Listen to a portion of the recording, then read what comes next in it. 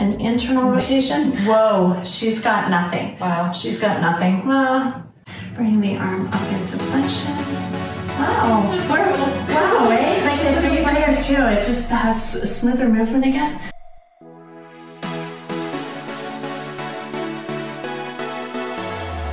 Okay. So when we do range of motion testing in Align, when we're working with our clients, we want to make sure that our clients aren't compensating at all and we stabilize that um, joint. Often I'll ask my client, oh, can you turn your neck okay? And they'll tell me, oh, yeah, yeah, I can look back, no problem. And uh, no, that's, that's cheating. We want to stabilize the joint so that we're isolating that movement and range of, with uh, the range of motion that we do. So with um, Helen's shoulder here, what we're going to do, just to see where she's at with range of motion, is we're just going to give the top of the shoulder joint a little bit of a squeeze. Okay, and are we ready here? And we're just going to bring our arm up into flexion to see how far she can go. Mm, I'd say that's about 170 degrees, would you say? Not quite the yeah. 180. She's at 170 though. I'm bringing the arm back. And I'd say she's about 40, 40 degrees or so. In abduction, bringing the arm up. She's got her 120 external rotation. She's got her full 90 degrees. And internal rotation, That's uh, about 40, about 45 degrees. So now let's hold the laptop on your lap. You're gonna have to do this one-handed because I still need your arm. Okay. Okay, so I'm really excited to see what happens here. But your arm, uh, your arm, and uh, with doing all these uh, tests so far, I noticed that the limbs just feel so heavy. So, all right, so shoulder flexion again. Okay. We're bringing the arm up. Oh, really? And you can see she's locked. I don't know, I might be generous and give you about 140 degrees. So quite compromised from 170, 30 degrees. Even five degrees being off in the body affects those neurosystems again. So five degrees over, five degrees under. That's that's 30 degrees. Quite quite significant. Wow. And now I'm bringing your arm into extension. Thank you. So I'm bringing the arm back. And that's even compromised too, bringing uh, bringing the arm back too. She's quite locked. So you were about I can't remember if it was about, 45? about 45ish degrees. Hmm, 10 or, 10 or 20 degrees there. And abduction, she's got a hard stop at 90 degrees. She was 120. External rotation, mm, looks about 80 degrees instead of her full 90. And internal rotation, whoa, she's got nothing. Wow. She's got nothing. Uh, 10 degrees maybe? Maybe. Feel, feel that's so restricted. Okay, so now, orb sticker time. Maybe place it And maybe you get to choose. Where did you maybe want by to the, I think maybe by the escape Alright, button, maybe somewhere around here.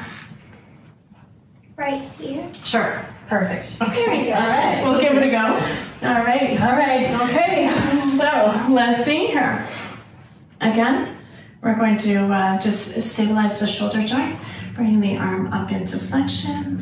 Wow. That's We're- cool. Wow, eh? Like it feels lighter too. It just has a smoother movement again. Bringing the arm back. Better. No, I would say that's even improved a little bit.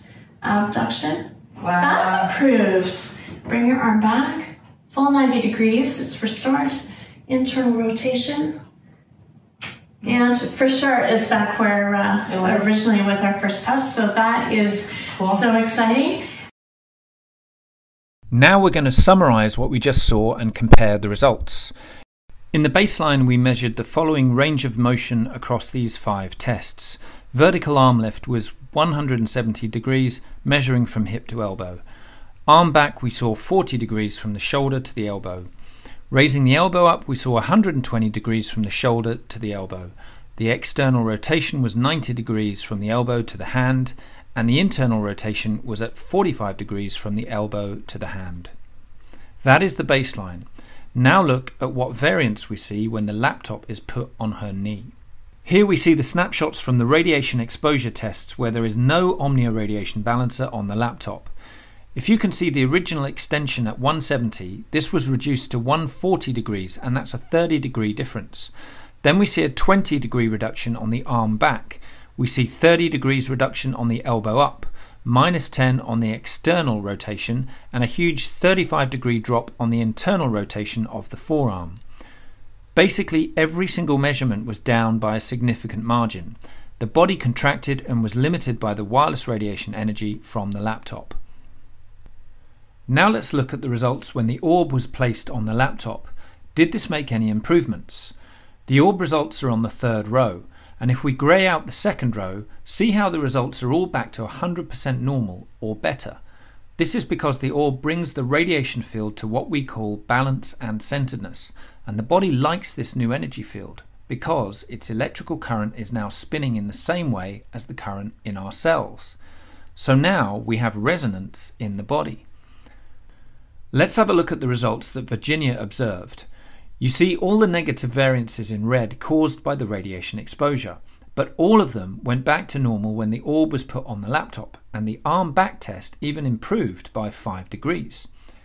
Now let's take a final look at these three exercises in the middle. We believe our snapshots show that the orb is even edging towards a better range than we saw in the baseline. The arm is further back here, it's higher up in the second, and it's further back in the external rotation. But we'll let you make your own mind up about these pictures. And if you try these tests at home, do let us know how you got on. Finally, while we have your attention, we just want to show you the results of some of the applied kinesiology, also known as muscle testing, that Virginia did with Helena in the same session. We'll get you to come around the side of the table and let's see how strength is affected by the cell phone. So we'll just see where Helen's at and we'll use a shoulder test for the purposes here. Um, actually, we'll start with your lats. Okay. Holding your arm in and don't let me push out, or pull out rather, so holding. And she's nice and strong. And bring your arm out to the side and don't let me push down. And she's very strong. Okay, so let's try it with her cell phone. Okay, I'll re repeat those um, strength okay. tests again. Okay, muscle tests again. Holding your arm into the body and don't let me pull out. Holding really strong. And you can see that it totally wings wings her uh, arm out. She's trying really hard there. so nuts. Okay, now bring your arm out and holding really strong for me. no, and she's just not able to oh hold that. So Omnia radiation balancing balancer time. Perfect. Perfect. Thank you. Okay. Okay. So let's uh, let's try again. Okay. Here we go. testing. Oops, sorry. Round three. And holding the lats, holding in, nice and strong, nice and strong. Oh wow. Yeah. And she's yeah, Super good, good. and holding your arm, don't okay. let me push down, and holding. Oh wow. And I could probably do chin-ups on her shoulder, which is uh, that's awesome. Yeah, yeah, we've been feeling that. So holding your arm in. Yep. And she still remains strong. And holding your arm out, don't let me push down. And she's strong. Okay. So typing time. All right. Right. Okay. Yep. All right. So uh, holding your arm in towards your body and don't let me pull out. Uh, okay. Anyways, want to try just one more time? Yep. And holding your arm in, and there's nothing there. Holding the arm out to the side, deltoid, don't let me push down, so holding up. Oh, I can already feel it Holding, yeah, before you get heavy to me, right? Okay, so muscle testing the deltoids, holding your arm out to your side and holding for me, and then lats, oh, we can Holding your arm into your body and don't let me wing it out. So holding. No. And you can see that your um, strength is restored. Omnia wins again, undefeated champion with all our EMF exercises that we've done today. Um, wow, that, uh, that was really neat to see with our findings today. Tim, I'd like to thank you and your team at Omnia for uh, letting us try this demonstration to see um, to see and bring the awareness of how uh, these electromagnetic frequency waves are affecting um, our physical health. Aylin, thank you for helping me too. Aviana, great job. And um, what else? The solution. The solution is the, the easy solution. All, all we have to do is put the sticker onto our device to restore our balance, our strength, our health again. And I always tell my clients, health is wealth, invest in yourself, and these stickers last a lifetime. Thank you, Omnia, the best in health to you all. Bye-bye for now.